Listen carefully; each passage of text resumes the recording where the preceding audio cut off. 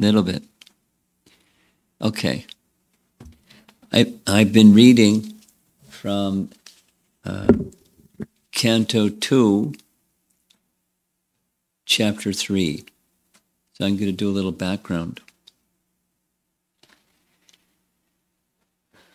The, the, the Srimad Bhagavatam is understood to be a dialogue between Shukadev Goswami, the speaker, and Maharaj Parikshit, the listener. Shravanam, Kirtanam. Shukadev Goswami doing the Kirtanam part. The king, Maharaj Parikshit, doing the Shravanam part. And the first canto uh, has 19 chapters. And the last four chapters of those 19 chapters were introduced to Maharaj Parikshit, who was the posthumous son. Posthumous means he was born after his father died. His, he was conceived in the womb of his mother. His father died. Abhimanyu was his father. Abhimanyu was a great hero. 16 year old warrior that it took seven generals to kill him during the Kurukshetra battle, which is illegal from Kshatriya codes. So Uttara, um, his mother, Uttar was his mother. And Abhimanyu, so Abhimanyu, little, we'll go back a little bit. Abhimanyu was the son of Arjuna and Subhadra. Who's Subhadra? Subhadra is the sister of Krishna Balaram. And Abhimanyu was their son. And uh, when the Pandavas were in the forest, incognito for some number of years, the final year they were staying um, at the in the kingdom as if they were not kshatriyas, but had different professions. So Arjuna's clandestine profession was a dance teacher. There's a whole Mahabharat. Mahabharat. Do you like stories? Yeah. Okay, so during the, the, the, the, the arrangement was when the Pandavas lost the gambling match, they were sent to the forest, and for some number of years they were just wandering about in the forest. And then the final year, if they were discovered in the final year, then they have to do another so many years in the forest. So during that final year, they uh, they stayed at the palace of one king, Virat. And each of the five brothers took a different profession, and Draupadi took her profession, and uh, the chief general of King Virat's army, he grew a fascination for Draupadi. So he was hitting on Draupadi. And she went to Bhima and said, Stop this man. So Bhima made the following plan. Bhima said, Invite him to come see you at night, and I'll be, I'll be there, I'll finish him. So he thought, the general thought, this is it. I got through to Draupadi. She wasn't known by that name, he didn't know who she was, but she was fabulously gorgeous. So when he came, he started coming on, and Bhima showed up. And Bhima smashed him to pulp. His bones were all broken. He was like a bag, and threw him out of the palace wall. And his body was found. And the Kauravas figured out this general was so powerful. There's only one person that could possibly do that. That's Bhima. the Pandavas are at King Virat's palace. So we just have to show up and discover their whereabouts. And then they'll have to do another so many years in the forest. That was the deal. So they came. Karna and Dushasana and Duryodhana and their armies and their, their plan was that they would attack the cows and the cowherds of King Virat, which would incite the Pandavas. They'd have to go and protect. And then once they had to protect, we'd discover who they are. So they attacked. And the news went to the king. The king's son said, I'm a hero, I'll go do it. Arjuna, the dance teacher, said, I'll be your chariot driver. So Arjuna's the chariot driver. I forget the son's name. So off they went, and he got you know, beaten badly. The chariot driver, Arjun, said, I'll take care of this. He went to the sal tree where his quiver and bow were kept. And he said, You be the chariot driver, I'll be the warrior. they switched roles. Arjun defeated the entire Kaurav army. Fortune had it that, um, fortune had it that the time that they were to be in the forest was over. So it was too late. So when, when Arjuna and the king's son came back, the, the king said, I, I, I owe everything to you. How about you marry my daughter? And he said, I can't marry your daughter because she was my student. This teacher can't marry a student. But I have a son, Abhimanyu, and he's of marriageable age for your daughter. So the marriage was conducted. And King Virat became an ally of the Pandavas. And Abhimanyu, who was Arjun's son, married Uttara. And shortly after that, the Kurukshetra battle began. Abhimanyu was then 16 when he married Uttara. Uttara was pregnant, and Abhimanyu was killed during the battle. S- six or eight generals, I forget, they all ganged up on him, and all because he was so powerful. They shut off his arms, and he still was fighting without his arms. He was a heroic person. They killed him. So Uttara was left with a posthumous child not yet married in the presence of her husband. So much later, um, towards the end of the battle, one of the Ashvatthama was a Brahmin. Ashvatthama was the son of, who was the father of Dronacharya. Oh, so you know the story. Dronacharya was the father. Ashvatthama wanted to please Duryodhana so much, he shot a Brahmastra weapon at the womb of Uttara to kill the remaining descendant of the Pandavas. Krishna appeared and checked while still in the womb, Parikshit was protected by Krishna, who checked the force of the Brahmastra, because a Brahmastra is an invincible weapon except Krishna. Krishna checked it. So from the time of his birth, he was known as Parikshit because he was always searching for that same Lord who he saw still within the womb. That's what his name means, the Parikshit, searcher or examining examining where is Krishna? Where is Krishna? That's the child.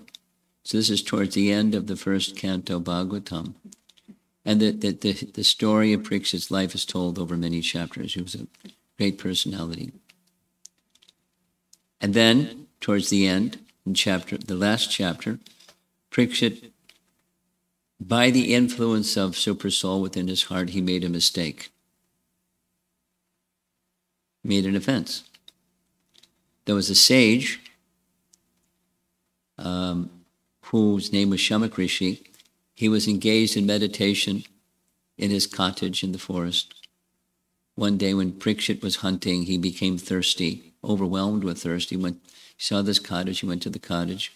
The sage didn't even say Haribol. He didn't say hello or how can I serve you? And Prikshit became angry. First, overwhelmed by thirst, that's not Prikshit. He was able to withstand a Brahmastra. And then he became overwhelmed with anger. What kind of sage are you? You can't even receive the king, offer a seat and some water. So he left in disgust. He saw outside the cottage a dead snake. He picked up the dead snake on the, with the tip of his sword, went back into the cottage, put it around the neck of the king. This is a fitting garland for you. And left. And after doing that, this is 19th chapter of the final canto, the son, he started feeling really badly. Why did I do this? This is offensive. Surely I'm going to get a reaction. And whatever that reaction is, I'll accept it because this was offensive. The son, named Shringi, he came back. He heard from the neighbors what happened. The king put this dead snake around his neck and he cursed Maharishi Pariksit, You're going to die within seven days because he knew some mantras. And by misuse of his Brahminical power, he cursed Maharishi Pariksit to die in seven days. The news went to Maharishi Pariksit, and Maharishi Pariksit accepted. This is fitting. I made an offense to a Brahmana. What horrible act. And so he decided he would give his kingdom over to his eldest son. Janamejaya was his son's name. And took off his royal garb and took on the garb of a mendicant, went by the side of the sacred river, invited all the sages to come and instruct him what to do in face of death in seven days. So big, big scene, big description of who, who all was there. Everybody was there. And then in comes Shukadev Goswami. And everyone, because of his spiritual stature, just seeing him, they had never seen him before. They just rose to receive him and honor him. At the end of chapter 19, which is a lead into this canto 2, um, Pariksit honored him and then asked suitable questions, mainly two questions. What's the duty of a person about to die? And what's that subject matter that they should always hear, chant, remember, and worship? Always. And Canto 2 begins, as we're reading from. It's Shukadev Goswami is starting to speak. He doesn't speak until the second canto. So he's instructing Maharishi Pariksit in response to his question. And the theme goes like this, keeping it really simple. Chapter 1 of Canto 2 is forming a personal conception of God by seeing the features of material nature, universal form.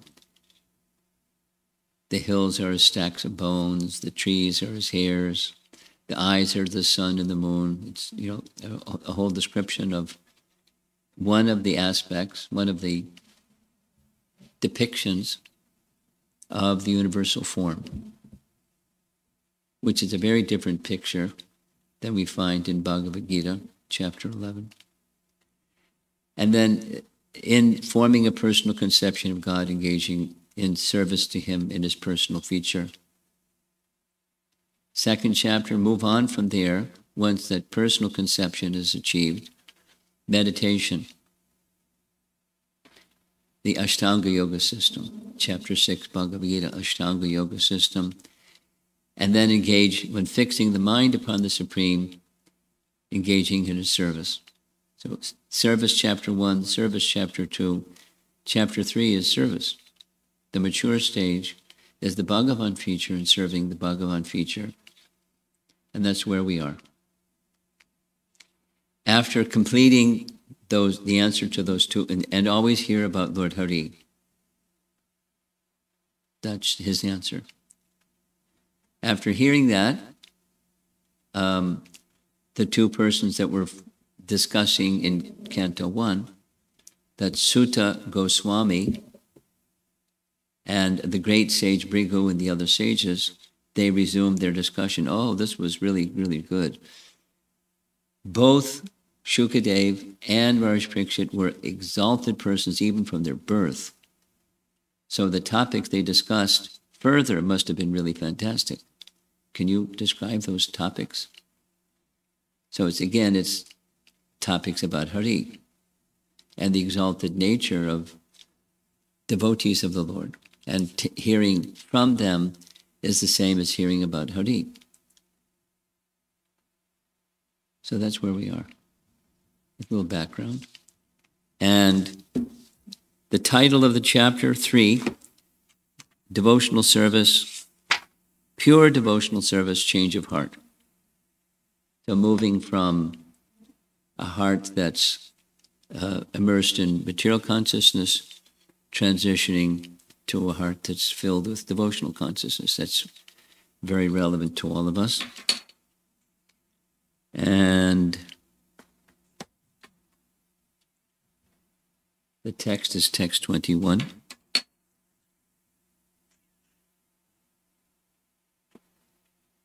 Now, this, this section is a compare and contrast model.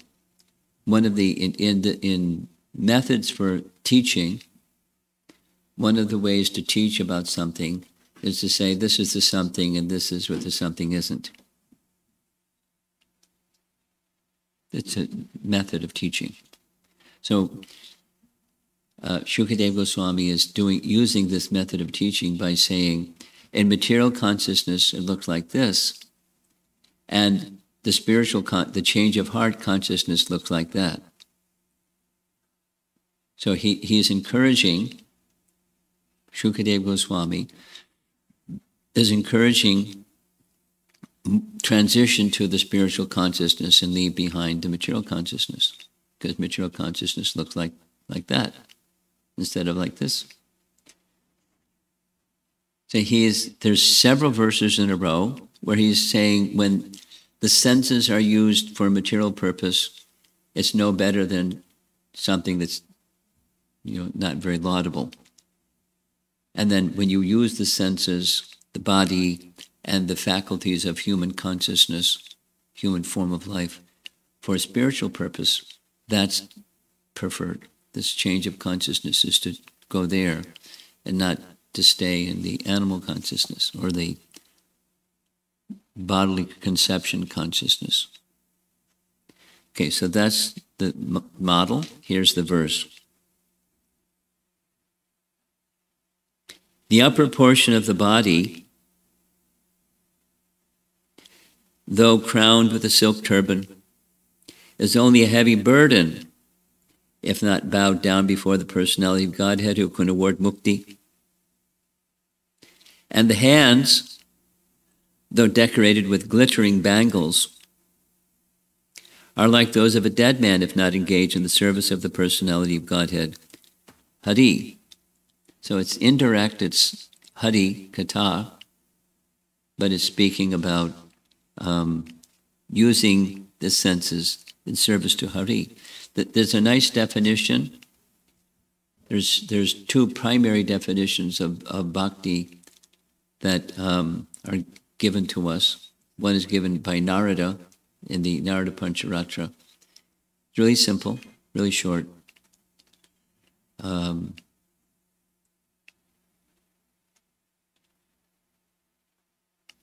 Sarva Upadi Vinir Muktam Vinir Muktam Mukti, rejecting the upadis, which means the designations that I'm American and you're Indian, or I'm male and you're female, or I'm tall and you're short, or whatever, whatever. I'm black and you're white, and something, something. That a conception of self in terms of the body, that's an upadi. Not who we are. We're the spirit soul. And the other conception is an upadi conception. So sarva upadi, all designations, vinir muktam, leaving aside all bodily conceptions. Tat paratvena nirmalam. Nirmalam means pure. In that purified state of consciousness, rishikena, rishikesha, sevanam. Very simple. Rishikesha is the Lord, the master of the senses. The senses used in service of the master of the senses. Rishikena, Rishikesha Sevanam. Bhakti Uttama.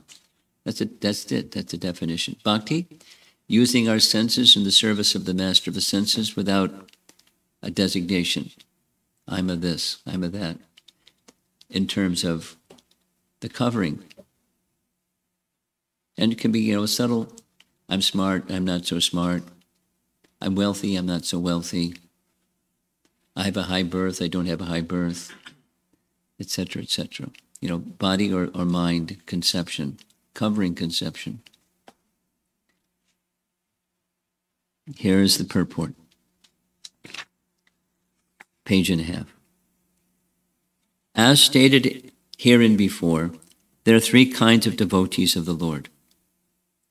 The first class devotee does not at all see anyone who is not in the service of the Lord.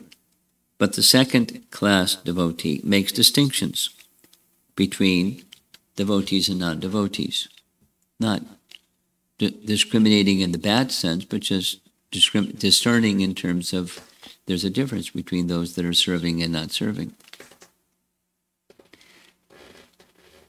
The second class devotees are therefore meant for preaching work, and, as referred to in the above verse, they must loudly preach the glories of the Lord. That's the previous verse reciting spiritual sound vibrations loudly so that they will benefit and others will benefit. So, audibly, not just silently or silent meditation, but audibly for the benefit of everyone.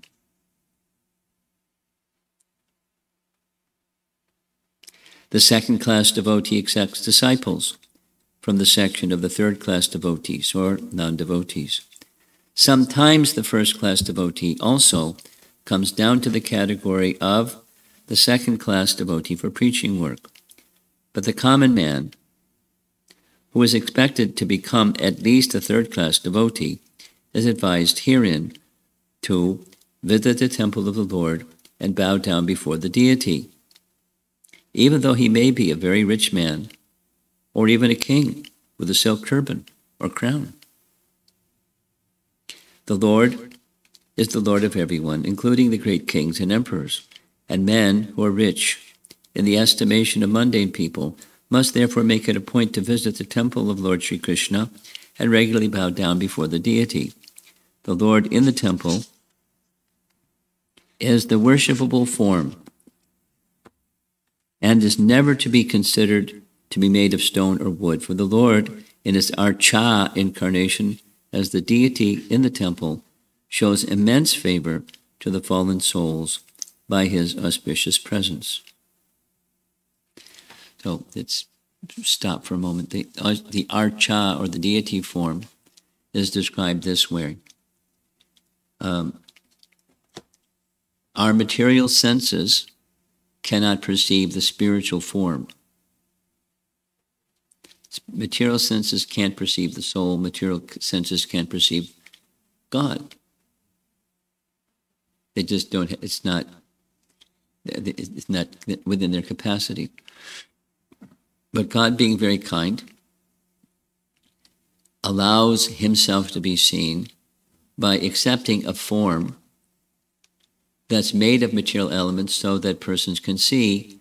And the, the teaching is when the deity form is installed, then the deity form is non different than the form of the Lord. Since we can't see him, he makes himself visible to us with these eyes. And then worldly people think, oh, that's wood or stone or metal.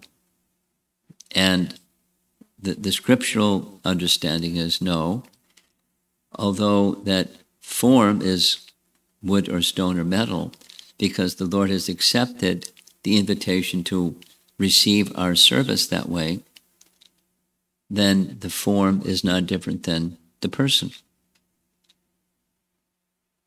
Similar to, to give two other examples, similar to the name. There's an important teaching that, just like that song we sang at the beginning, just it's eight words. They're names of Krishna in Vrindavan, each one of the eight names. And the name Abhina Tvam Nama Namino. There's a, there's a relationship of abhina or non-difference between nama and nami. Means the name and the object named. Nama and nami, which is not true for material sound. For example, if I say water, water, water, water, water, the sound and the object are different.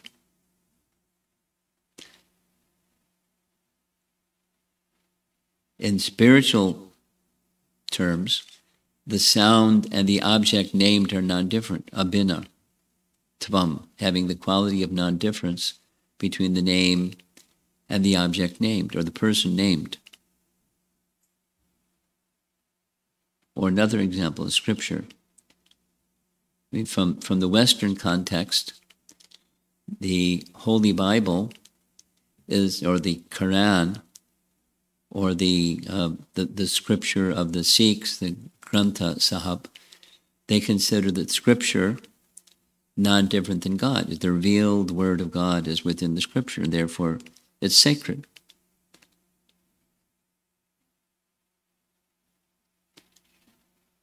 Some years ago, um, the Hare Krishna Temple bought a synagogue from a Jewish organization. Forget the name of the Jewish organization. The Jewish organization. And they wanted out of that neighborhood because it wasn't a good neighborhood. Their congregation was dwindling because it wasn't a good neighborhood. So they sold. And when we bought the building, we, you know, they had their assembly hall, which we converted into, we took the seats out and just had a kirtan hall. It was nice. And upstairs, above the ground floor, was a place where they had uh, rituals. And the Torah wasn't there anymore, but there was there were rows of seats, and then you walk up, and there was a plat, raised platform. On top of the raised platform was a stanchion. On top of the stanchion was silk wrappers, and that's where they had the Torah, because it was it's sacred, and the rabbi would read from the Torah and, you know, preside over functions that involved worshiping the holy book. So those are two examples: the name and the holy books, or the Word of God, is God. That's a spiritual conception that various religions hold. And the Vedic tradition also holds. The, the Bhagavad Gita is Krishna's words, and Krishna's words is Krishna.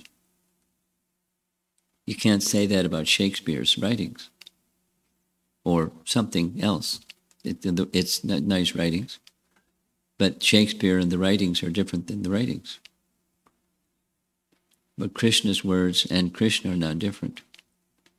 So the, the back to the text here, the the archa or the deity form is especially important for people who are in the bodily conception and need to move, wish to move from the bodily conception to a spiritual conception. So using the faculties of the body, the sense of sight or the sense of touch, They can offer lamp and flowers and incense and decorate the deity and so forth and so on for the, the pleasure of the deity. That means they're using their senses and the objects of the senses to worship the Supreme. Deity worship is very practical and it has a spiritualizing effect. That's the point that's being made here. It's reiterating something that was in a previous text.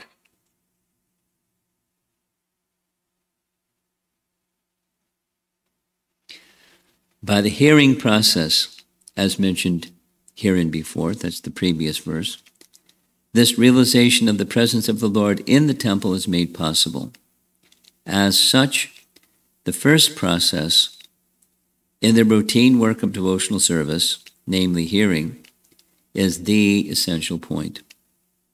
Hearing by all classes of devotees from the authentic sources like Bhagavad Gita and Srimad Bhagavatam is essential. The common man who is puffed up with his material position and does not bow down before the deity of the Lord in the temple, or who devies, defies temple worship without any knowledge of the science, must know that his so called turban or crown will only succeed in further drowning him in the water of the ocean of material existence. A drowning man with a heavy weight on his head is sure to go down more swiftly than those who have no heavy weight. A foolish, puffed up man defies the science of God and says that God has no meaning for him. But when he is in the grip of God's law and caught by some disease like cerebral thrombosis, that godless man sinks into the ocean of nescience by the weight of his material acquisition.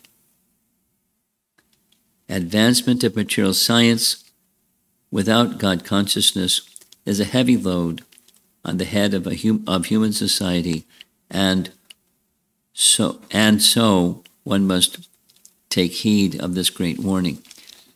Now, Prabhupada would generally in his purports not name names, but he would refer to a situation indirectly. So, was there some question? Was there some historical personality in India that was a celebrated VIP of some kind or another and died of cerebral thrombosis? No? Not that you're aware of. Cerebral thrombosis? Okay. He would do like that sometimes. Not name a name, but you know somebody that's esteemed. But when when the time of death came, that esteem didn't help them.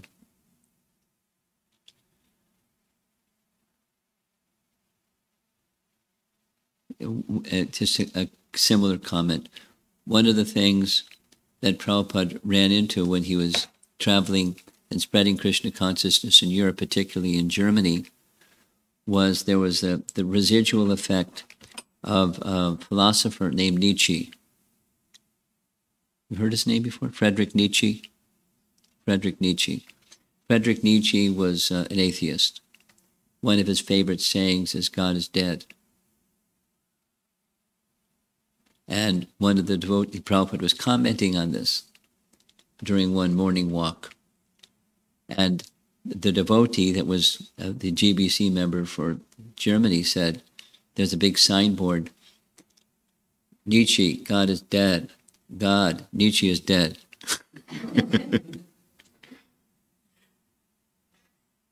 so one may defy God or the existence of God. And, you know, he did a very thorough harsh, biting criticism of theism and, and people people who have conception of God. But in the end, he was subject to God's control. God is dead, but he's controlling everyone. God's not dead. Last paragraph. The common man if he has no time to worship the Lord, may at least engage his hands for a few seconds in washing or sweeping the Lord's temple. For example, Maharaj Prataparudra, the great powerful king of Orissa, was always very busy with heavy state responsibilities, yet he made it a point to sweep the temple of Lord Jagannath at Puri once a year during the festival of the Lord.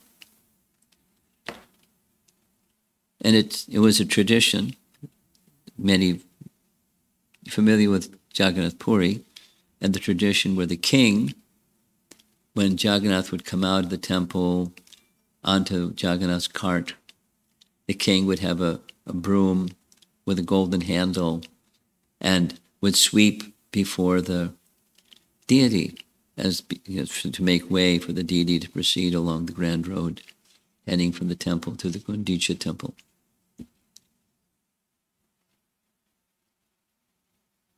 Tell, a little story. Story's so nice.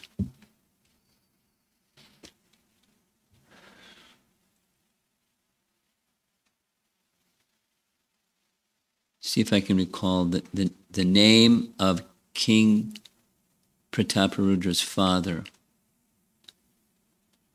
King Prataparudra's father.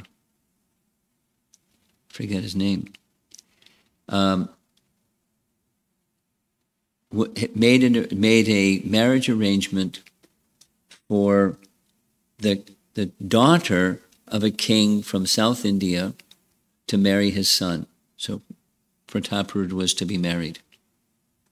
And the father, in, to, to honor the invitation of the father of the girl, to honor the invitation of Prataparudra's father, whose name I can't remember, he came to visit during Jagannath Rath Yatra. And he was very surprised that he saw Prataparudra, the son, sweeping before the deity with his golden handle and the broom. And when he got back, he sent a messenger to the, the, the, his father saying, My daughter's not going to marry a street, street sweeper.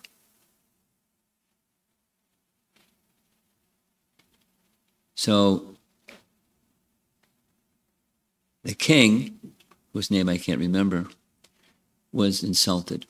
It, it, not just he was insulted, he was insulted, he was, Jagannath was insulted because he's not being honored as the, the Lord of, of all of us. So he, he got his entire army, gathered his entire army, and went to conquer that king who insulted Lord Jagannath and his son for sweeping before Lord Jagannath. And he was defeated. And he went back. And he prayed to Lord Jagannath, What happened? I went to defend your honor. And I was defeated. One of the priests asked him, Before you went, did you take blessings from Lord Jagannath?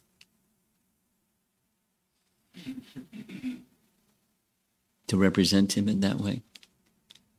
And so the king, whose name I can't remember, uh, Purushottam Dev, thank you. Purushottam Dev spent hours in the temple, prostrated before the deity, praying to the deity to protect his honor. And he then gathered his armies again and went a second time to this king in South India. On the way, the king and his armies stopped in a place outside of the capital to get some items at a, a, a place where they could get some pots and some thises and that's. And uh, when they got there, the, the merchant said, You don't have to pay anything. King said, How's that? He said, Well, you had an advanced party. There was a, a very dark complexioned and a very white, fair complexioned soldier. They came in advance. They said, The king's army is coming. You take this jewel and, and give them whatever they want. And King Purushottam said, Let me see that jewel. And it was the jewel of Lord Jagannath. And then he understood Jagannath and Balaram were the advanced party. and he was sure of victory, and sure enough, he was victorious. And the king submitted. The South India king submitted, and the daughter was then married to Prataparudra. So those who have faith, even with faith, they still are subordinate to the deity, Lord Jagannath included. So to be in, to be a worshipper of the deity means to be a servant of the deity. And being the servant of the deity means you do and you don't do things that are uh, on behalf of and with the pleasure and mercy of the deity. That's how one lives. A life of devotion is like that. That's mentioned here. The idea is that however important a man one may be, he must accept the supremacy of the Lord. This God consciousness will help a man even in his material prosperity. Maharaj Prataparudra's subordination before Lord Jagannath made him a powerful king, so much so that even the great Pathan in his time could not enter into Orissa on account of the powerful Maharaj Prataparudra. And at last, Maharaj Prataparudra was graced by Lord Chaitanya on the grounds of his acceptance of subordination to the Lord of the universe. Now that has a nice story. The, the life of Lord Chaitanya has many biographies and one of them is the, the superlative biography amongst them all. Prabhupada made a translation of it. It's 17 volumes, sits on your bookshelf like this. Now they've compressed it into fewer volumes, but it's very outstanding biography. When Prataparudra, as a king, came to hear from his chief priest whose name was Sarvabhauma, nice name for a chief priest. Um, that Lord Chaitanya is not just a sannyasi, but he's the personality of Godhead. And immediately, Sarvabhauma, just saying that, Prataparudra had such regard for Sarvabhauma, he said, I, I accept what you say. Can you make an arrangement so at least once I can meet with him? And the, the, the chief priest, Sarvabhauma, said, that's not easy. He's very strict. He doesn't meet with, world, meet with worldly people. You're king. Likely he'll consider your position of being king to be a worldly position, worldly person. I'll try. Lord Chaitanya refused. There was a test, and there was a whole series of things that happened eventually, first he said, okay, well, you can send his son because the son is a representative of the father. So he sent his son. King Prataparudra sent his son.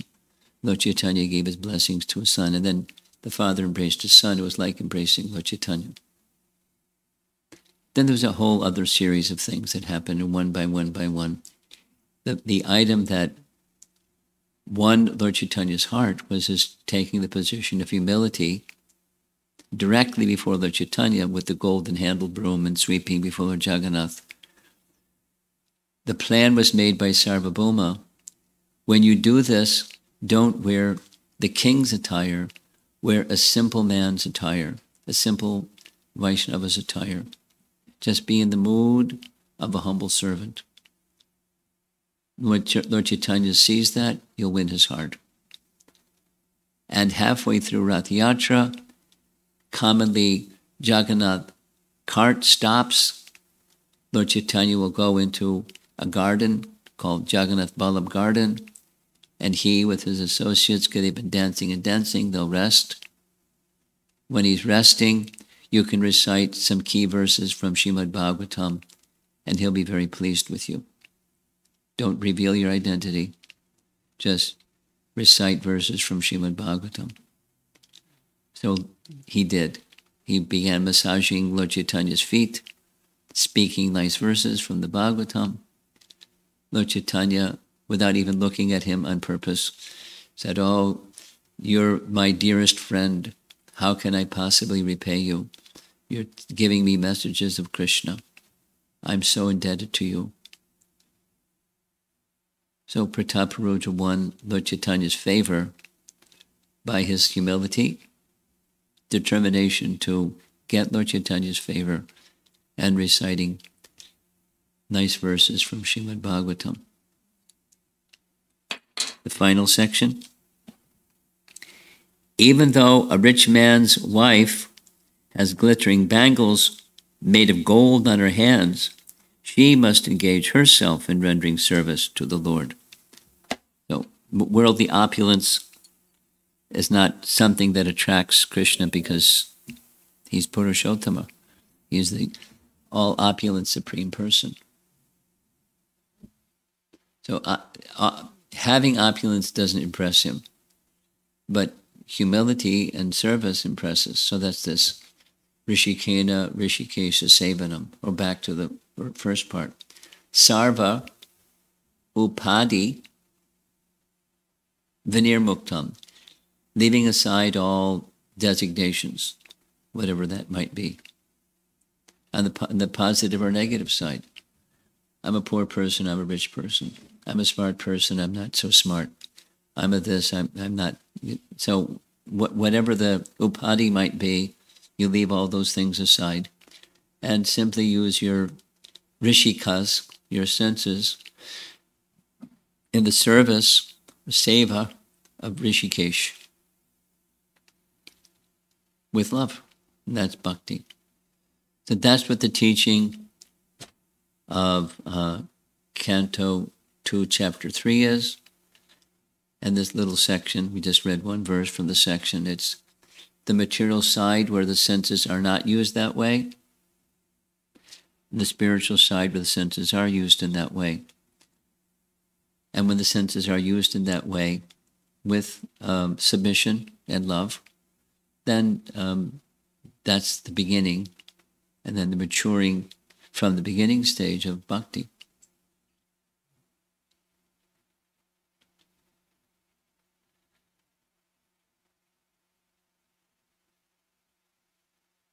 The rest of the chapter goes forward with a few more verses like that. And then Shukadeva Goswami starts drilling down more on what the besides what the body does, what the mind does, and then sometime after what the mind does for the life of devotion, what the heart does. And what there, there's a, a phrase that, that is repeated several times purposely where there's a change of heart. So the idea is this practice or sadhana brings about the change of heart. Not the, sadhana mechanically performed doesn't do the same thing. In other words, one doesn't become uh, have a change of heart simply by making circles with incense and waving the the incense in circles before the deity. That's a behavior, but it's the consciousness behind and behaviors that are authorized behaviors or, or activities combined with the hearing of transcendental messages that cleanse and purify the heart bring about a change of heart. So it's the, the, what it back to the question from the, the end of chapter 19. And then I'm going to end here. Maharaj Parikshit is about he's cursed to die. And he's accepted. He's going to die in seven days. And the, the, the, the form of death is a mystical thing. The, the, the young boy, Shringi, cursed him with a mantra that a snake bird, but there is no such thing as there are birds, and there's snake, but there's no, no snake birds. Birds, snakes don't fly. But a snake bird would come and bite him. It was so venomous, instantly his body would burst into flames. That's what happened. So he accepted that's how I'm going to die in seven days. So how do I prepare myself? What's my duty? And the duty is devotional service. And how is that devotional service to be awakened? That's the other question. What is that subject matter that one should always hear, chant, remember, and worship? Shrotavya kirtitavyascha dhyeya pujaschya nityada. That's the question. So now that the subject matter has been identified and the mode of life has been identified, and at the end of the 10th canto Bhagavatam, hearing everything, because it's been a dialogue between the two, Maharaj Parikshit and Shukadev, he tells Shukadev, I'm ready. Let that snake bird, whatever mystical thing sent by the Brahmin boy, let it come. I, my consciousness is fixed. He's ready to go back to Godhead. So that misfortune that was very surprising, unbecoming of him as a, as a very powerful and self-controlled king, to lose it, become angry and being uh, unable to control his thirst. It's not Maharaj Parikshit, but it happened. And the purpose was two things. So he could receive this whole Srimad Bhagavatam, and so to get a, a, a fast ticket, seven day ticket back to Godhead. Fast tracked. Now, wasn't nice. Curse a king to die, a great personality. But there was a purpose, those two purposes, and it was fulfilled. And the idea is for us, the same opportunity is there. We don't know how long we're going to live. Maybe it's seven days. Maybe it's 70 years. Maybe it's whatever it is. Maybe seven moments. We don't know. And whatever it is, we're sure one thing is sure it's going to happen. As sure as death, it's going to happen.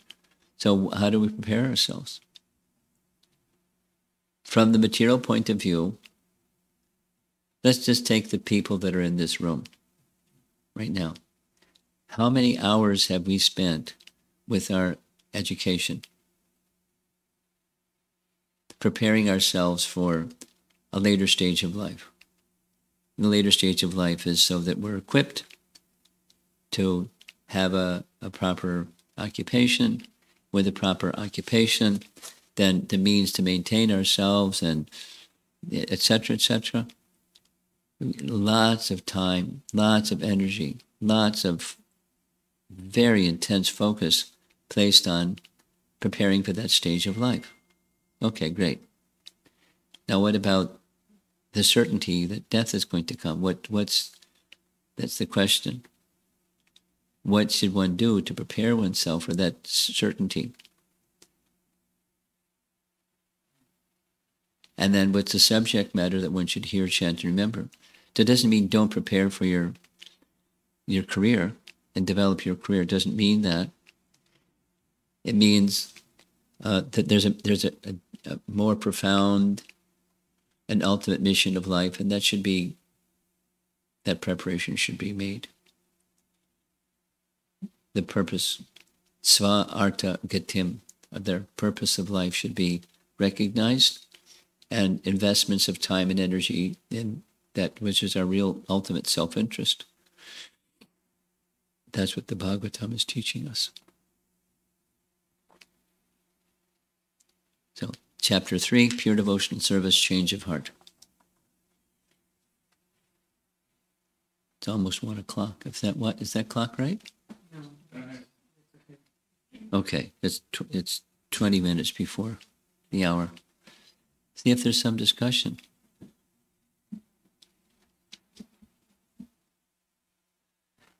Now, the other evening, I, I, I came to, to Palatine on Wednesday evening.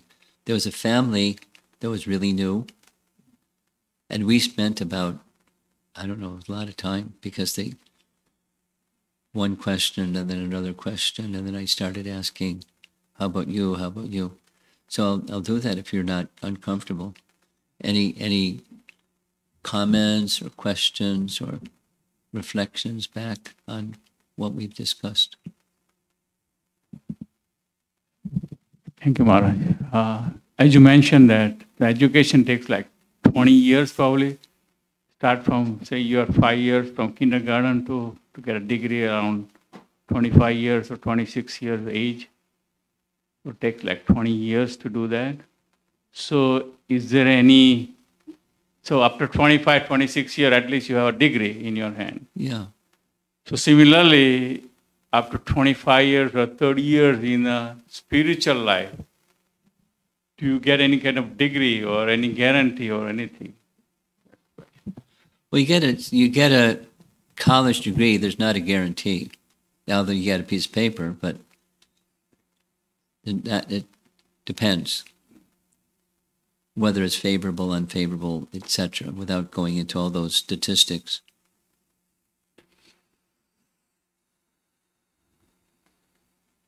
Your question, though, however, is, is by spiritual investment, is there a guarantee?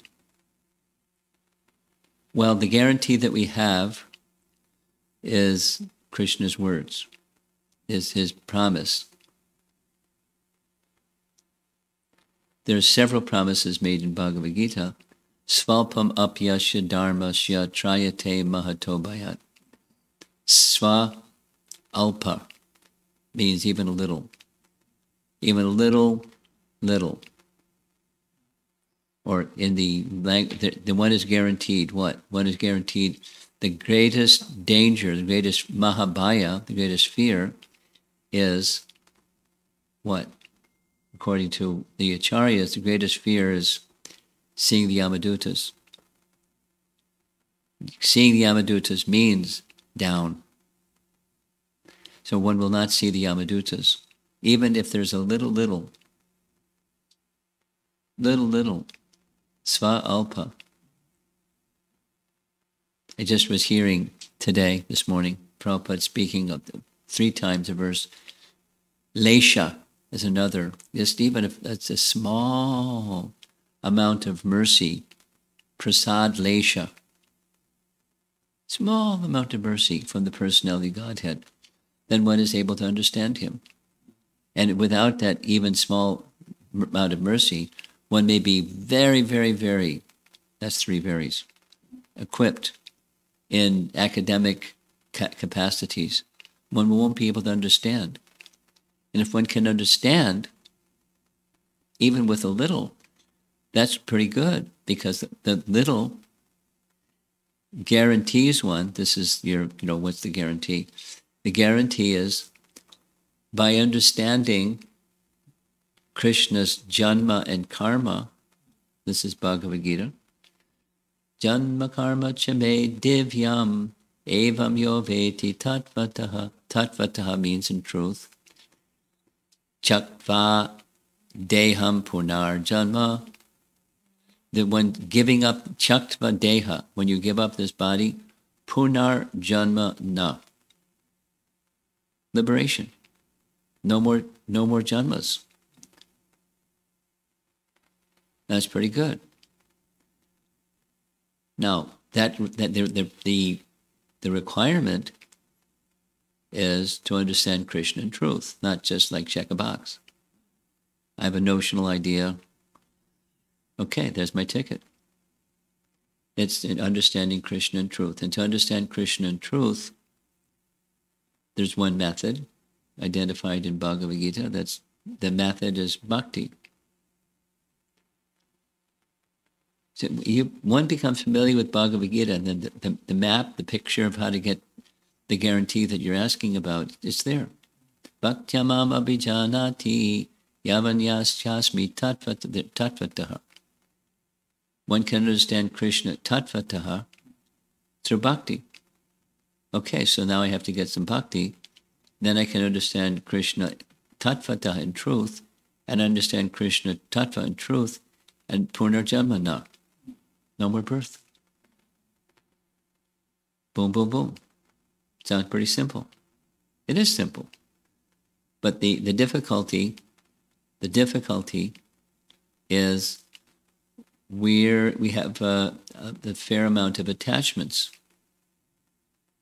to things of this world, that, to the temporary, attachments to the temporary. Here's another verse from Bhagavad Gita. Really nice verse.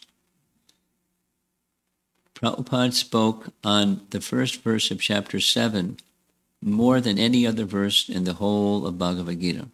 I'm listening to a series of his, so far it's like 20th time he's spoken on chapter 7, text number 1. And the, the verse begins, Maya sakta manak partha yogam yunjan varashaya. Then asam shayam, without doubt, samagram mam, one can know me completely. Samagram mam, yata gyasyashi tachunu. And how the method is by tachunu, is by hearing. By hearing with faith, then one can, from the right source, from Krishna, then one can know Krishna in truth, in full. I mean, as much as the tiny can understand the unlimited, one can understand Krishna. He, he reveals himself to such a person who strives, strives to become attached, asakti, maya sakta mana partha, the mind becoming attached to Krishna. Because the, the difficulty is we're attached to something. And often that something is the substitute, not the transcendental attachment, but the attachment to the temporary. It's, it's, it's not that the temporary is to be trashed, but the temporary is temporary. And we engage with it, understanding there's a purpose in relation to the Supreme. So that the, your question was, is there, what's the guarantee? Well, it's Krishna's word. And if one doesn't have faith in Krishna's word, then there's no guarantee. Now, how do, how do I know that I, I can trust Krishna's word? Well, lots of people, that's right in Bhagavad Gita, Arjuna says, great sages, list some of them, they've reached the stage of perfection by this very same method. So how do you know if you enroll in a college you're going to get a degree? Well, lots of people enrolled in college and they've gotten their degrees. There's lots of people that have achieved spiritual progress. So there's the precedent, and there's Krishna's word. That's the guarantee. Supposing I don't have faith, then don't enroll in school. Or don't don't engage oneself in spiritual life because I, there's no guarantee. But there is. There's precedent, and there's Krishna's word. I give my word. Ma suchaha. Ma, don't, don't worry. Ma suchaha. Well, I'm hesitant. Don't hesitate. Don't worry. Have no doubt. That, and Krishna keeps his word. What if I'm not qualified? It's okay. Krishna is kind and Krishna will keep his word. He'll, he'll help you become qualified. What's the qualification? It's not something material. That the qualification is having, a, having faith it's, and striving according to that faith. And then faith will grow. Krishna will help. It does require, the guarantee requires some faith in the, the precedent that went before me and in, in Krishna's words. That's the guarantee.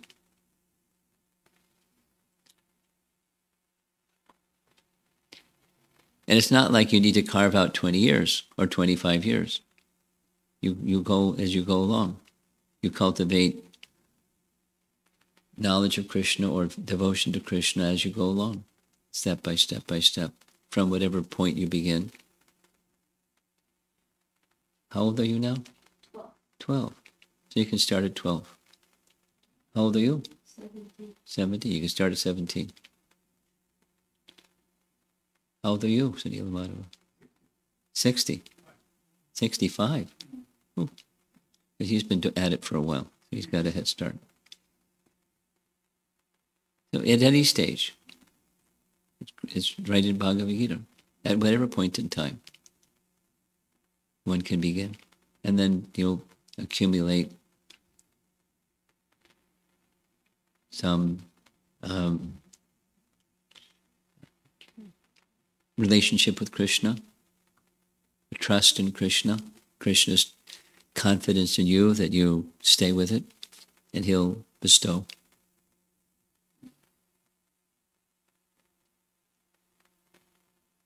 It's a relationship that you can really trust more than any relationship of this world that you can't have the same trust in because everything is temporary and imperfect. And Krishna is not temporary, nor is he imperfect. He gives his words, he keeps his word.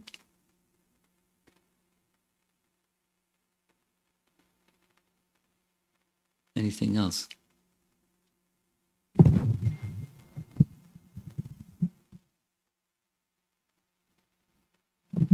Hare Krishna Maharaj. I had uh, two questions from today's class and one from yesterday evenings.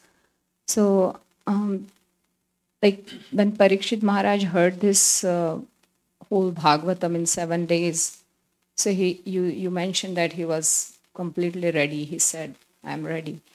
So, my curiosity is like, what changes in the consciousness? What changed in his consciousness? Because when I think about myself, I understand that death is certain, but the fear is how will it come? Will I be causing trouble or pain to others in that they will need to serve me or something, or I will need to suffer through a lot? I don't know. So fear is there. But yeah, so that's what my question is that what changed in the consciousness of that person who hears Bhagavatam properly? Simple. Two things.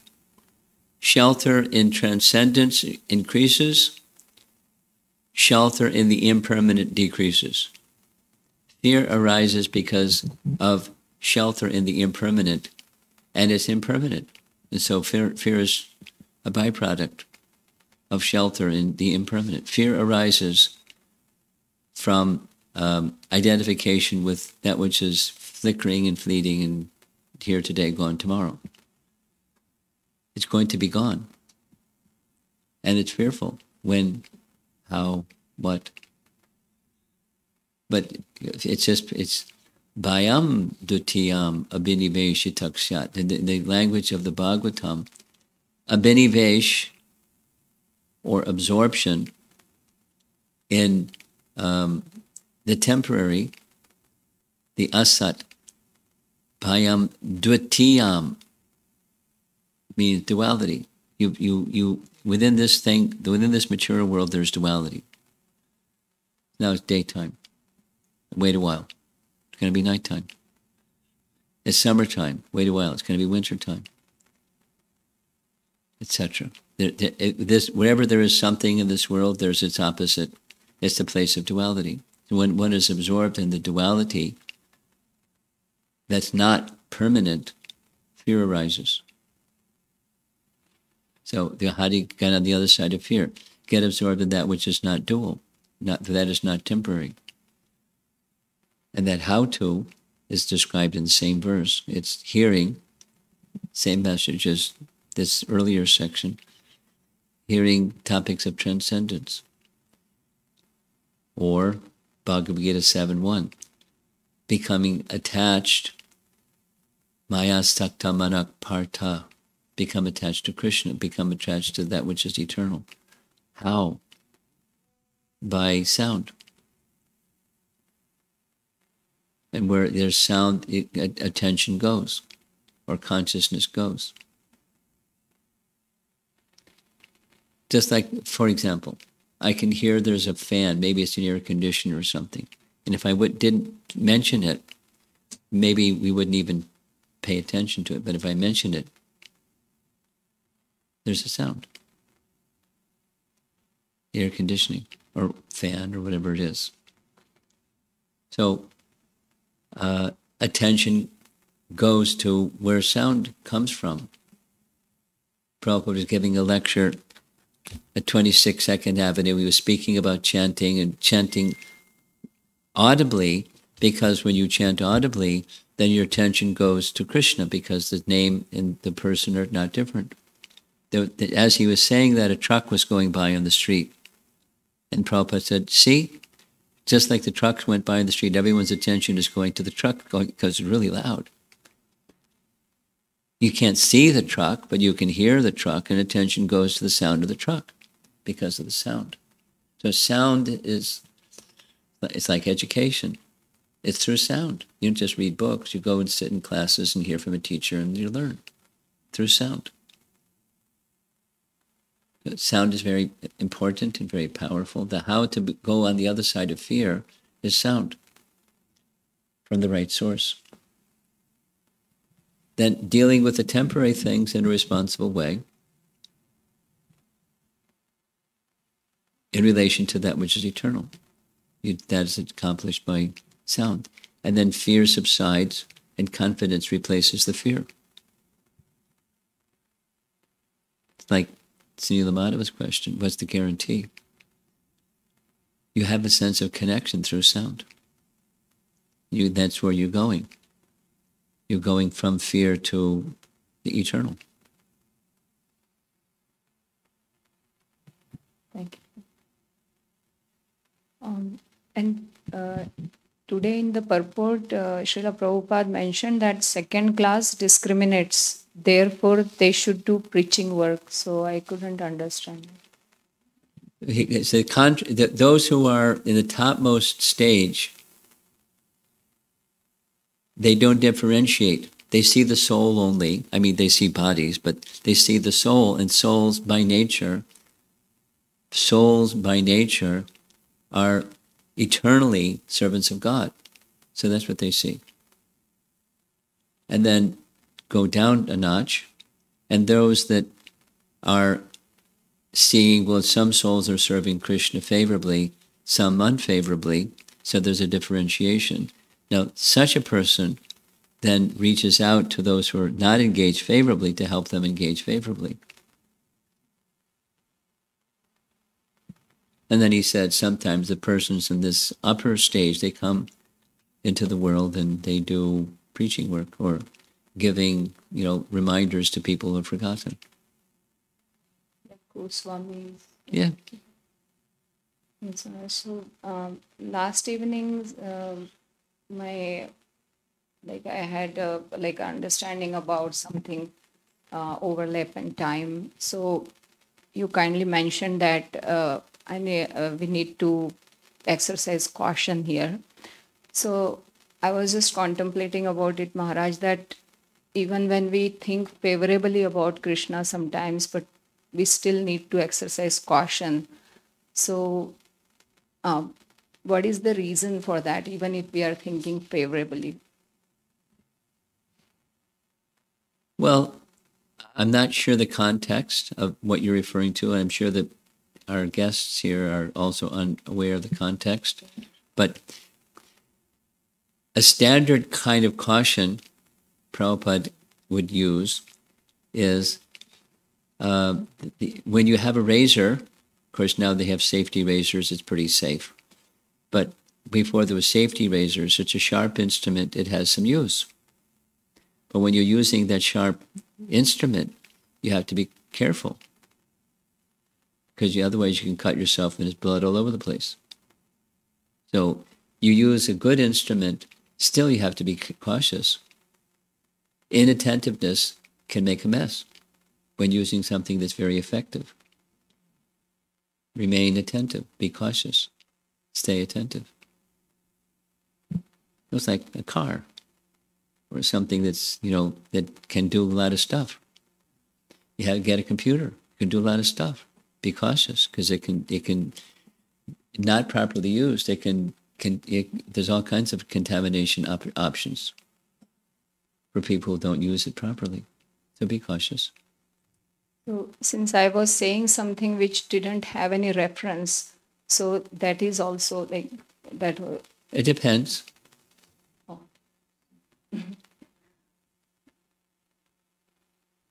it depends. Why I was thinking about it because then I was mapping it to my even day to day activities while I'm serving. Because many times I just take decisions um, like maybe eyeballing something or you know just maybe we are rushing and the offering time is limited and we just offer for five minutes. So then it- just feels scary that okay is it spontaneous or am i doing right? Or no then it, it, it is translating to every activity Same answer. It depends. I mean, you know, the, the the the deity who you're making the offering to will understand your circumstance, and if your circumstance is such that it's not just whimsical, but it's actually the, the force of circumstance, your kids have to run off to school. You have to make the offering, so you make the offering, and then you remove the offering. You have to be practical. So it, it, it depends on your your is it mechanical or is it devotional? It depends. Circumstance may dictate one or the other, or identify one or the other. thank you very much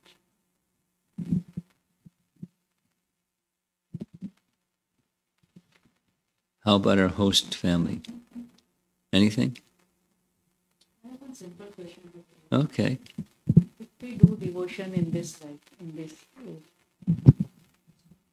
Hold the closer. uh, then it will omit our past lives karma. Yes. Two things. Two things. One is past karma is sig- significantly reduced. And second is the spiritual merit will stay with you beyond this life. Here's a very simple example. Supposing you put money in a bank. At the end of life, it's gone. Supposing you put something in a spiritual bank account. At the end of life, it's there. You did 5%. So your next life, you start at 6%. Spiritual activity has a permanent asset. And the other question you asked is, are your past karmas eradicated or reduced? Yes. Bhakti has that power. So, so we need not worry. We need not and focus our attention on what's back there. We focus our attention of what's in front of us. There may be some things that happen in your life that have something to do with what's back there. But what's back there, the karma from the past, according to the, the, the, the scripture, the karma that we, we should have otherwise received is minimized like anything. It's just rather a token reminder of something that's back there.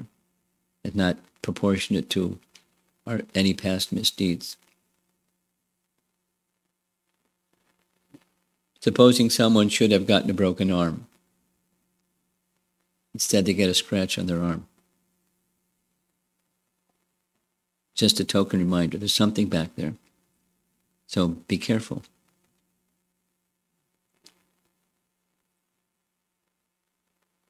But yes, karma is is um, significantly reduced, or it's another another energy of Krishna is at play in the life of a devotee. That's the internal potency, and it overrules the external potency, Maya potency, the karma potency.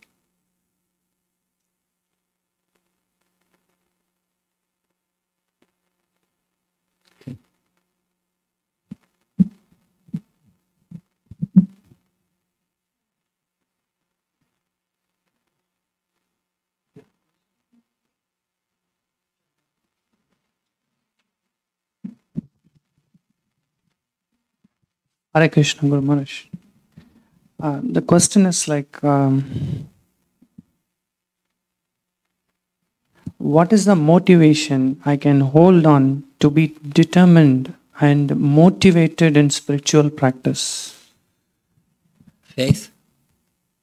Faith that's nourished by good association. Adau Shraddha Tata Sadhu Sangha.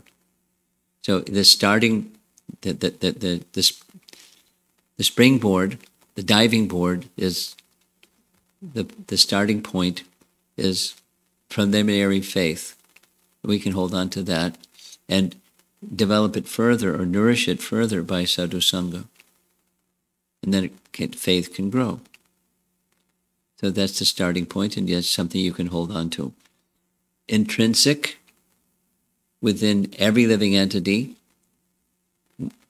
ourselves certainly as devotees, there's some faith in the existence of a higher reality, nourished through sadhu sangha, and then that faith grows. So that's something you can hold on to.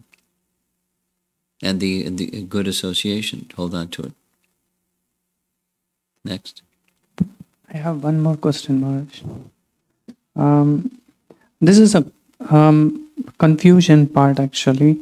Like um, even in the material side, for example, I have to do the daily fitness, or otherwise I have to do my uh, studies to do my project better, right? So that is on the material side. Even there, I'm lazy sometime, or I'm not determined to do it, so I'm failing on the material side. But that is, I'm able to understand. In spiritual, if I'm failing, a lot of question comes to my mind. Like um, example is like what like I do not have the mercy, or I have a lot of anarthas, or I committed some offenses because of that this is happening. Like that, so many questions come to my mind. If it's material, I didn't do it because it is like this. But it, when spiritual, if I'm not able to do it, there are a lot of things comes to my mind.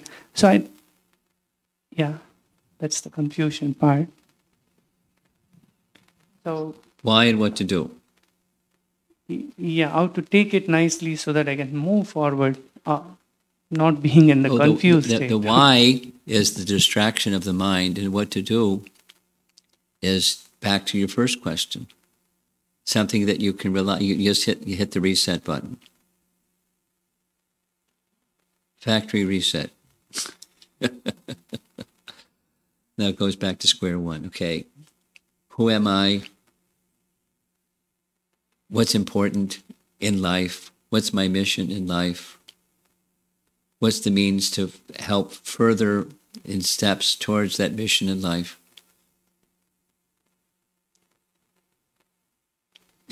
So you, you have you have a, a the, the, the, the, those X Y Z so many thoughts. You have a parking lot.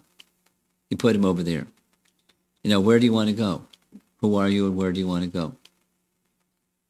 And you know invigorate who you are. The concepts of self know yourself and your mission in life. And then go there. The other is the mind dragging you away from Krishna. Self doubt, etc., etc., etc. Supposing you could identify the cause, so what? Then you still are left with where, who are you, where are you going to go? And when you when you start going further with who you are and where you want to go, the parking lot empties out.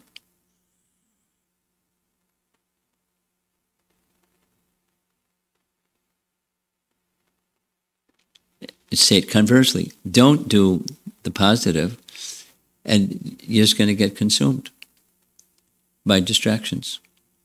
You, you know, you get further controlled by the mind, where your mind becomes the greatest enemy, not your best friend like Krishna says in Bhagavad Gita. Okay, so someone else?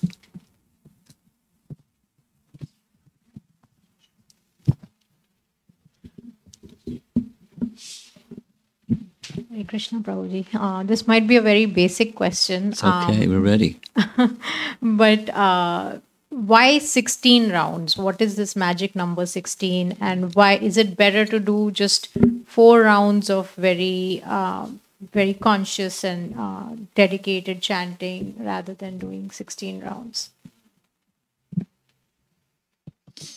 Yeah, it, it, the magic number is because there's several parts to your question. The magic number is because our founder Acharya assessed that that's what his young Western disciples could manage. It started with a higher number. And then it went down to half of that. And then it went down to half of that. Said, but that's minimum. That's the, how the magic number came up. And he found that the, the commitment could be maintained. You know, it, it- commitments take commitment to maintain, but it, it- it's maintainable. Now, then it was 16 minimum. There are devotees that are accustomed to much more than 16 minimum.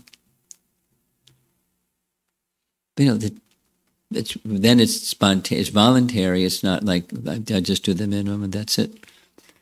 So that's where the magic number comes from. There's a there's a Sham Sundar in Houston, temple president in Houston is no longer the president. He's about your age, and uh, so some younger person is the president. And he, what he does is every Ekadasi by eight o'clock in the morning is sixty four rounds, and he's got a team of people with him that are tagging along, holding on to his dhoti, and they're going along with 64 rounds by 8 o'clock in the morning. And then it's, you know, and then more. So he's like turbo. But, you know, that, those that like the turbo mode, they're, they're happy to be with him. But 16 is like people are busy and they've got their jobs and their families and their thises and their thats and their 16. So, and then is it better? You know, it, it's, it's a false dilemma or false option. Four good ones versus 16 not good ones. You know, not 16 good ones. If you can do four good ones, why not 16 good ones? It's, it's, a, it's an artificial uh, dichotomy. So do good ones, however many you can do. Do good ones. And then strive, if you're not there yet, to make it 16 minimum. And then when yeah, you maintain that, then you make it your 64 minimum or whatever, your 25 minimum or whatever is, is minimum. One of my godbrothers, uh, uh, visiting in Alachua, we, we did lots and lots and lots of service together.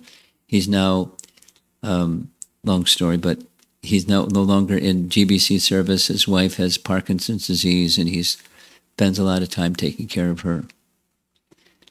And they're very wonderful devotees. So he told me, private, I don't share this with anyone, but every year I'm increasing by two rounds. And I have a target of when I'll be up to 64. He gave me the number that he's chanting every day now. You know, it's just like that's spontaneous on his side. I, that's something I can maintain. And on Ekadasis, he does a little more, but, you know, this is something every day, every day, every day. You know, according to life circumstance and focus and so according to your life circumstance and your focus. But you know, take take a number that you can maintain and do them nicely. You know, do them nicely means a lot of things. We, you know, with with attention, with absorption, or asakti, maya sakta mana. And then as many. Then strive for that standard of 16. That's what Prabhupada and we follow what he did for those who are initiated devotees. Some initiated devotees, they're already more than 16. Okay. Okay, uh, one more related question. Um, so I'm not. Uh, I mean, I have two kids, and uh, I'm not at a point where I can like, you know, stop cooking onion and garlic because a lot of my kids, the food that they like or they're picky, so I cannot like totally get rid of uh, all that in my house right now. So is it? I feel like offering when I make food. So is it better to offer if I put onion and garlic in the food, or I should not offer? You should not. Should not offer. What you can do for the family members that like that, you cook for them and you don't offer. And then over there you have separate pots and you cook for, for Krishna and you cook things that you can offer to Krishna and offer those things to Krishna. Now, in, depending upon the family members, if you can wean them slowly, then that's ideal. That would be better than just shrugging shoulders. But if not, if they're not ready to, to go there, then you continue. But you can't. You can. You, you. If you offer something to Krishna that's not acceptable, he's not going to accept it.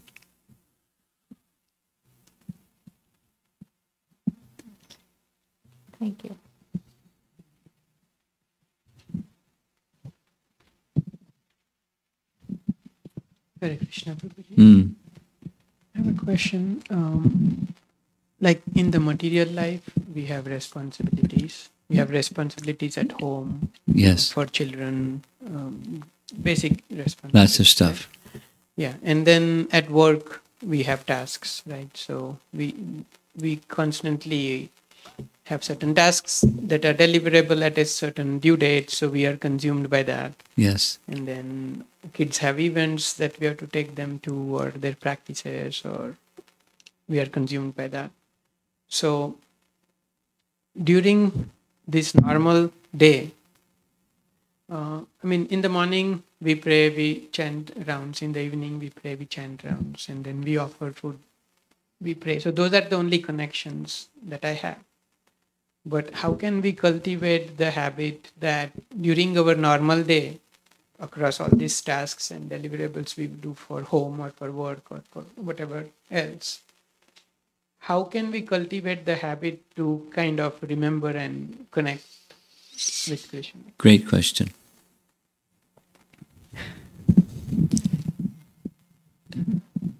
I, I- I can give, you know, I'll give a simple answer. It, may sound too simple or over simple and therefore not satisfying. But, but I'll give it anyways. In, in a something similar to her question, if, if you, if, if, or to the proportionate to your absorption in the devotional activity, connecting with Krishna as a person,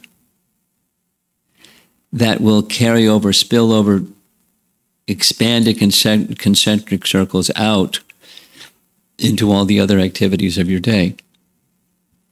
The, the uh, uh, attachment to Krishna, Maya Saktamana, the attachment to, to Krishna done properly in your that whatever that time is that you have devotional um, designated time. That energy then carries over to the other activities naturally. Very simple. Really simple. Um, you know, your you, that your attachment to your family members, natural. Your wife and your daughter, you have attachment. So, so even when you're at work and you're doing tasks, naturally, because of attachment, thoughts will go to them. So, if attachment can be energized in relation to Krishna, he's at the center of everything. That energy, that attachment, that's bhakti shakti, will be there with you when you're doing your work. So the material conception is I'm working for my boss. The spiritual conception is I'm working for Krishna. The boss thinks I'm working for him. That's okay. I'm working for Krishna. And my success will be in getting the tasks done in a timely fashion, in a quality way, will be by gifts given by Krishna, not by my boss. Krishna can enable anyone to do anything in the workplace or in the home or anywhere. The ability in man is Krishna. So that if I energize my Krishna connection, I'll do better at work and I'll be mindful of Krishna.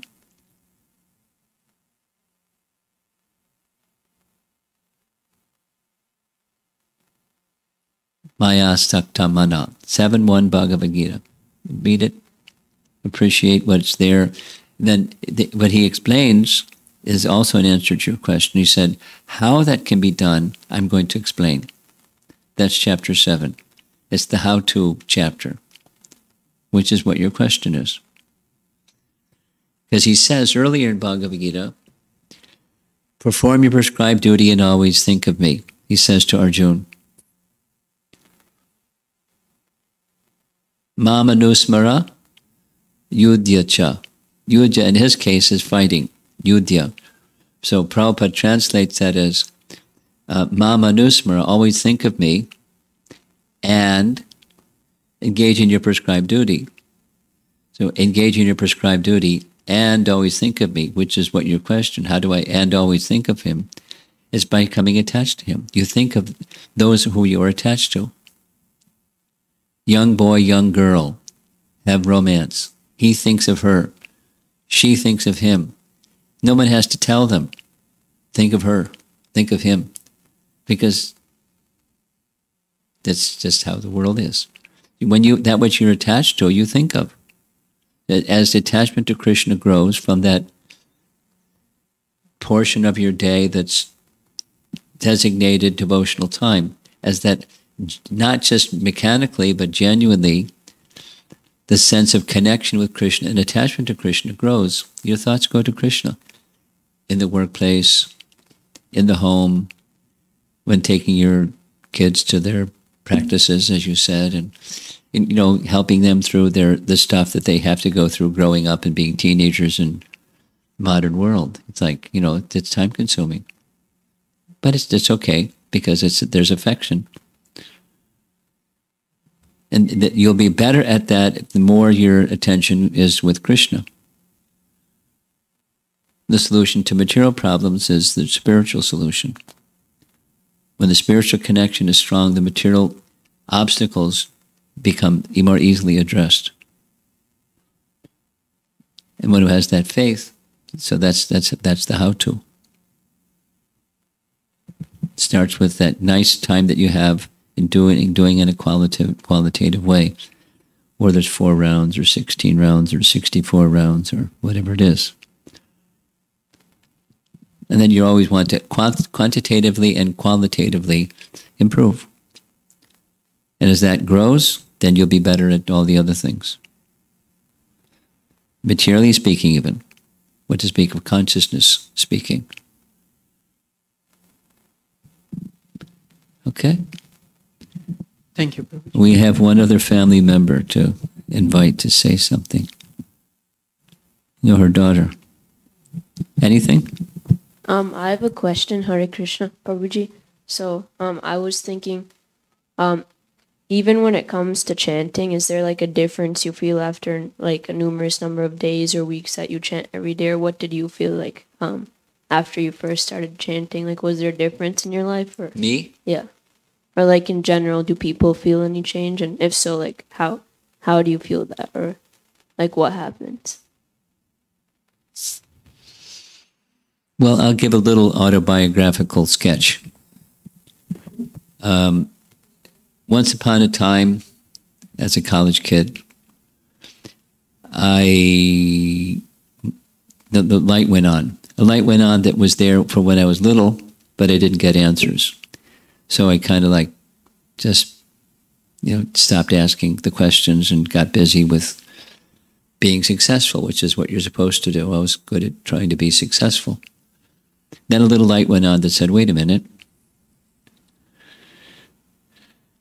There's a higher reality. I mean, I'm making it short. Three things. There's, there must be a place where people aren't with each other like people today are with each other. There must be a place where people are more human. There must be a place where people feel like I feel. Like, why is this inhumanity of man to man? doesn't make sense. There must be a place where there's people that aren't like that, and I want to find that place. A very idealistic kid, young man. So it was three things. There's a higher reality. I know that I don't know what it is, and I want to know. So I was on a quest. And many things, and of the many things, chanting resonated. I mean, there was like, that took about eight months. But there was doing so many different things because I wanted to know. And when I started chanting, I like I was chanting four rounds, and I was hearing 16. I was thinking, wow, I'm in pre med, I don't have time. But I kept hearing it, so I thought, you know what, I'm going to try. I'm going to try. So here's what happened, it's in responsive to your question. It, to chant 16 rounds took me two hours. That was a lot of time for, you know, a pre-med student, but I did it. And what I found was, by chanting 16 rounds instead of four, the amount of sleep I required reduced by two hours. I didn't try to reduce my sleep, it just, I was energized, and the sleep requirement was less. And then I did my studies after I did my 16 rounds, and it was, I accomplished the academic work in less time because I was more concentrated. And then I had time to read Bhagavad Gita because they had more time within a busy day. That was my subjective experience. Some other things happened, but that was that was a little autobiographical snippet. And uh, you know, different persons have different experience. Certainly, more clarity, more focus, more freedom, more more freedom of consciousness, not necessarily more freedom of time, but more freedom of consciousness you know, my ability to make decisions based upon who I really am as opposed to pressures that are weighing on me became much more strong. And you know, young people being who you are is a big deal, but then figuring out who you are, that's a big deal too. So I had much more clarity about who I am and had the freedom rather than pressure peer pressure, parental pressure, you know, worldly expectation pressure. I had freedom. I felt it. And then when when when the choices were more me instead of expectations on me, my heart was there. So it was, it was more energized just from that one thing you know, the, the, the starting point was I was doing uh, maybe 15 different things, you know, on the strength of I want to know. And I found of those things, this was most effective without going through the, the weeding things out. So then when I started, when I worked up to four rounds, then it was like, okay, with the six, magic 16 number, what about that one?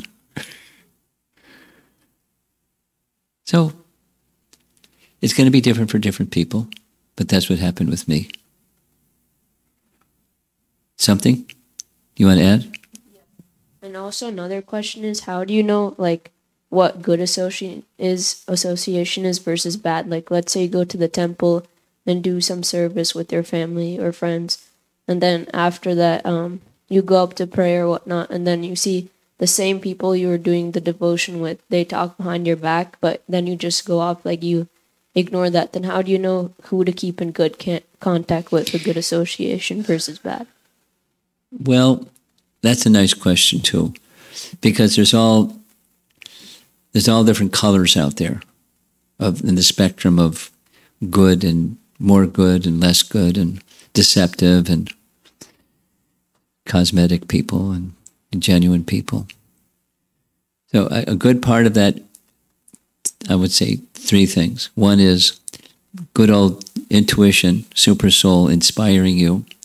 The second is your own purification so that your lens that you're looking through is clearer because our lenses are also colored.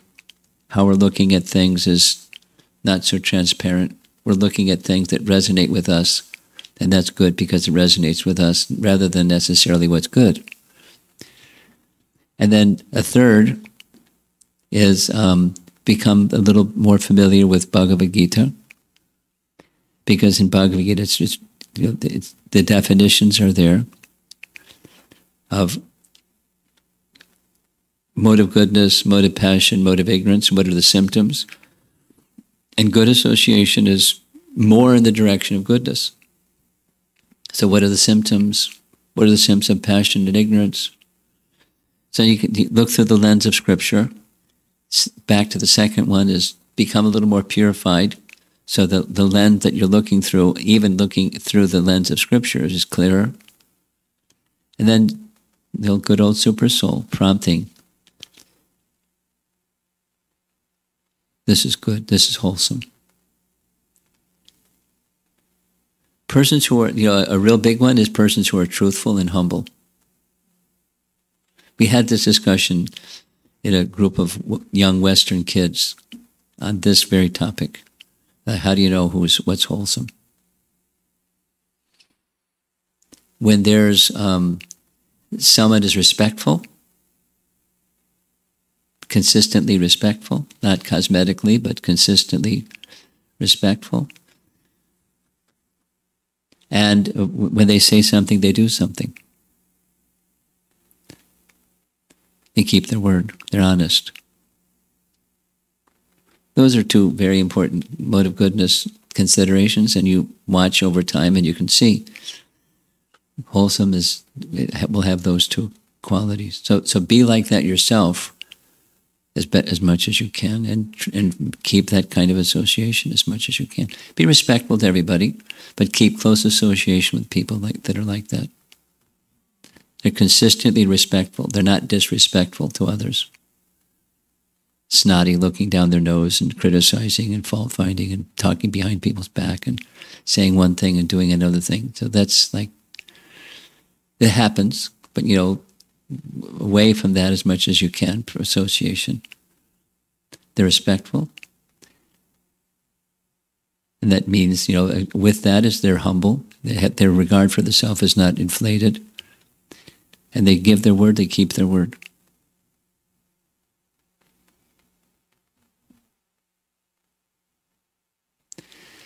Okay, I think we're good. Do you want to say anything?